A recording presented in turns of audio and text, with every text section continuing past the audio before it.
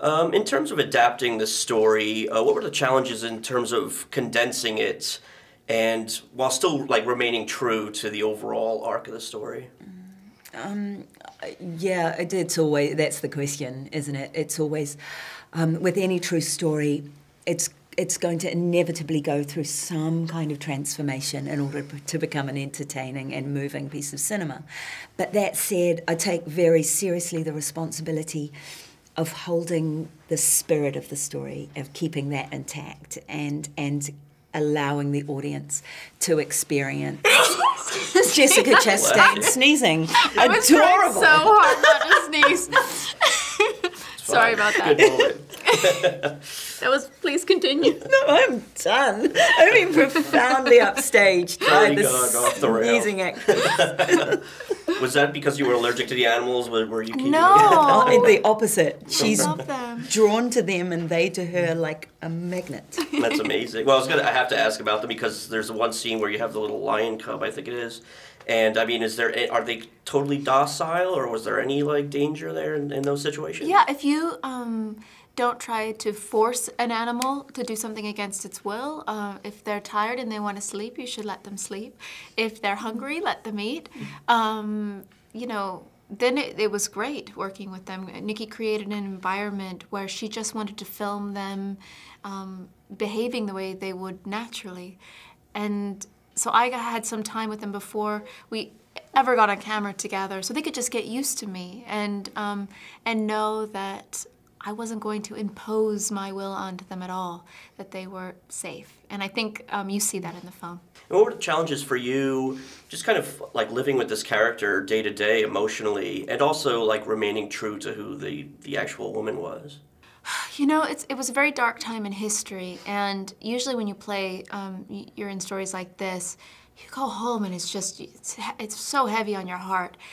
I'll tell you, playing a character who leads with love and leads with compassion and kindness, it actually brought great joy to my life, and I was sad to say goodbye to Antonina at the end of filming. Um, no matter, it's a lesson in no matter what darkness surrounds you, it's all about what you have here and what you're projecting into the world. And uh, I found filming this movie very joyful and, and happy and healing.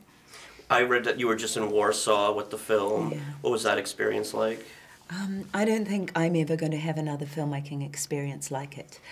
To to take this story home to the Polish, it's it's it's their story in many ways, um, was uniquely satisfying, and they they they loved it so much, and they loved the fact that Jessica was there. And you know, it's hard not to think about themes today where this movie mm-hmm. resonates. So when we're thinking about refugees and that kind of thing, do you feel like it works on that additional level? Absolutely. Mm, totally horrifyingly so. It's it's actually when what began as a as a a historical drama has actually become a contemporary film, a contemporary story.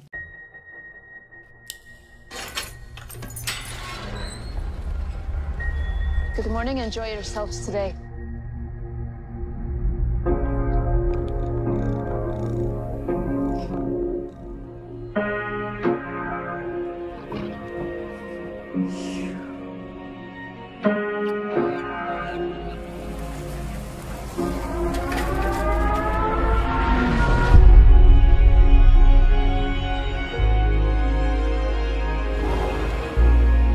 The country's completely overrun. They're forcing Jews out of their homes. They're taking us all to the ghetto.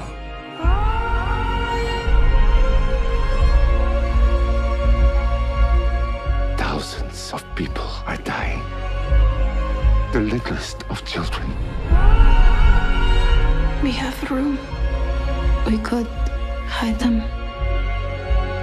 Bring as many as you can.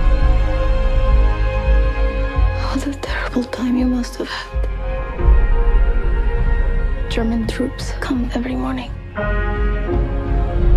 You can't make a sound.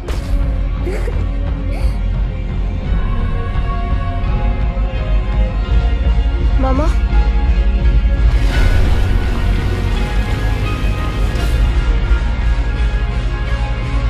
Have you been keeping secrets from me? No one knows how hard it is.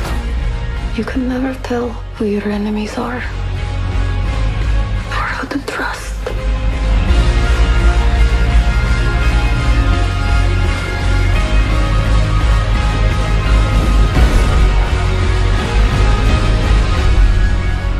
Maybe that's why I love animals so much.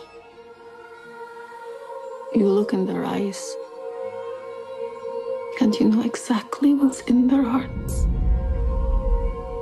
What have you been up to in your little zoo?